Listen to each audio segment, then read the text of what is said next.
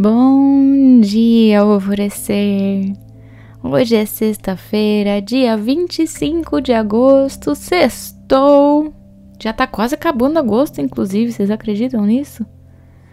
E aceitar a si mesmo e ao outro como somos é perdoar. Não se prender a mágoas é perdoar. Desligar-se do rancor é perdoar. Compreender os seus próprios erros e os do outro é perdoar. Perdão é cura para todas as dores. Perdão é nos libertar do que nos impede de viver em paz. Nesse momento, a vida te pede uma pequena pausa para reavaliação. Afinal, nós estamos em Mercúrio retrógrado também.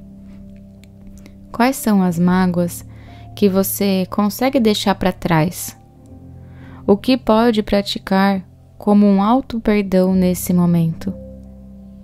Mude a perspectiva de que esse planeta retrógrado vai trazer confusão para sua vida e faça o que ele realmente pede nesse momento. Olha para dentro, medita, faz um exame de confiança, de consciência também. Perceba seu corpo, marque os médicos que você vem adiando.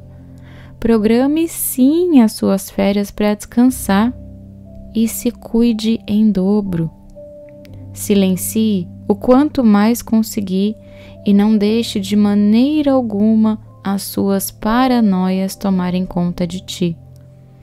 Saiba que você está no comando independente do posicionamento dos astros. E olhe para a leveza desse momento ao invés de ficar se batendo. Hein? Se trate com amor e gentileza e traga a paz para a sua realidade.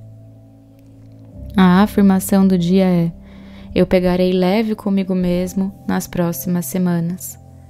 E a meditação indicada do portal Alvorecer para hoje é Leveza da Autoaceitação, que está no módulo de meditações da quinta no portal Alvorecer.